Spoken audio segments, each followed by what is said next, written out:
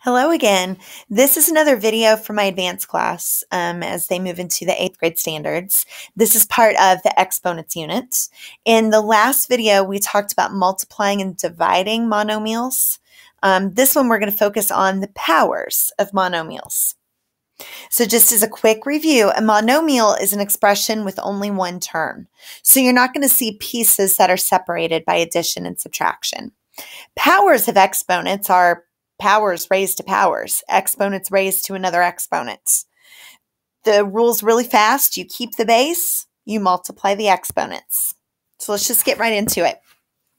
For the first one here, we have x to the second, and then we're going to raise that to the third power. So what it means is this thing in parentheses, this says how many of those you're going to have. So x to the second, x to the second, x to the second. This is what we're multiplying. This is how many times. If you go back to that last video when we talked about the rules for multiplying monomials, you keep the base and you add the exponents. Altogether, if I listed them all out, we would have six exponents or six x's there. But, oh, come on and write for me that seemed like a lot of extra brain power when all I really had to do was multiply the two and the three. So x to the six. Bada bing, bada boom. That's it.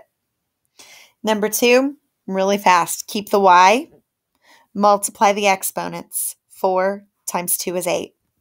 If you want to write them all out, you've got y to the fourth and y to the fourth. Four y's and four y's altogether would be eight y's. But why go through all that? When you have more than one variable, it's kind of like when we did the distributive property. It's just you're distributing exponents to exponents. x to the fourth raised to the fourth, multiplying, it becomes x to the 16th. y to the fifth raised to the fourth, multiply, it becomes y to the 20th. You just keep the base, you multiply the exponents. That's all there is to it. Let's do a couple more just like that. Now remember, if you don't see an exponent, there's really a 1 hanging out there. So we're going to distribute exponents to exponents. That's going to become a to the 1 times 3 is 3. b to the 2 times 3 is 6. And c to the 5 times 3 is 15. Distribute exponent to exponent. There's a 1 there to exponent. So that becomes m to the 8 times 6 is 48. n to the 4 times 6 is 24. And p to the 1 times 6 is 6. Not too bad, right? When you have coefficients in there, you just can't forget to include those. They have exponents too, they're just hiding. But there's really a 1 hiding there with a 6. That really says 6 to the 1. It just looks goofy to write it that way. So I'm going to distribute exponent to exponent to exponent. It's going to become 6 to the second, x to the sixth, y to the eighth. Now, if your directions on your assignment only say to simplify, then it's okay to leave it just like that most of the time.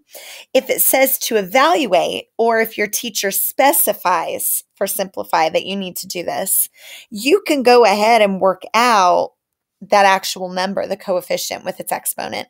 6 to the second would be 36. Personally, I like when it looks a little bit cleaner so I would like it as 36, x to the 6, y to the 8th.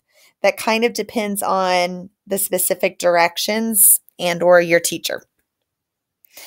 Number 7. There's really a 1 there with the 4. So I'm going to distribute exponent to exponent. There's a 1 there to exponent to exponent.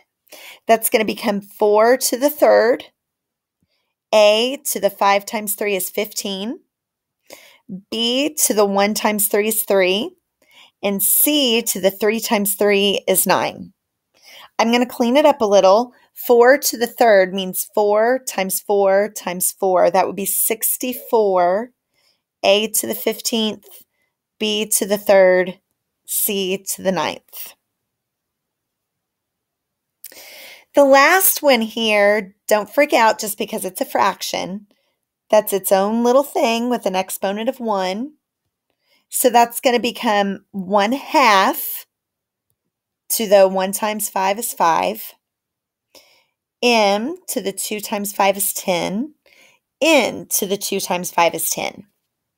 When you take a fraction to an exponent, you take the top number to that exponent and also the bottom number to that exponent. 1 to the fifth is 1. 2 to the fifth is 32. So that's 1 over 32 times m to the 10th n to the 10th. Or if you really want, you can go ahead and put those together because this would be like having both of those over 1. You could rewrite it as m to the 10th n to the 10th all over 32. I would not be that picky. Again, depends on the directions, depends on your teacher. But for this particular section, I would be totally happy if we had just left it like this. So either one of those is good. The last thing that I wanted to point out, it is so important when you have negative coefficients that you keep those in parentheses if they start in parentheses. So I have a little reminder over here. Negative 5 in parentheses to the second is not equal to negative 5 not in parentheses to the second. The first one means negative 5 times negative 5. And when you take a negative times itself, it becomes a positive, right? So this really equals a positive 25. But on the second one, order of operations, PEMDAS, you have to do the exponents before any adding or subtracting. And this sign on the outside kind of acts like a subtraction sign. It means opposite of. So you would really need to do the opposite of 5 to the second or the opposite of 25 that one becomes a negative 25. So they are not the same. So the point that I'm making here is on number nine, that negative five is part of something in parentheses. So just like I kind of did with the fraction, you need to treat that like its own little thing in parentheses. Then take care of multiplying your powers.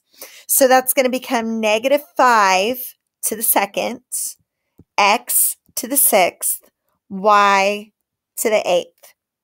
And if you need to go ahead and evaluate or simplify further, negative 5 to the second is 25, and then x to the sixth, y to the eighth. Okay, that is the end of this section. So as always, thank you so much for watching until the end of the video. If you need help with 7th or 8th grade math, please go ahead and subscribe. I'm not in this for subscribers, but if my videos help anybody, please feel free. That's what it's here for. Um, so my YouTube channel is Math with Lugar, and you can always contact me there at my school email. Until next time, bye.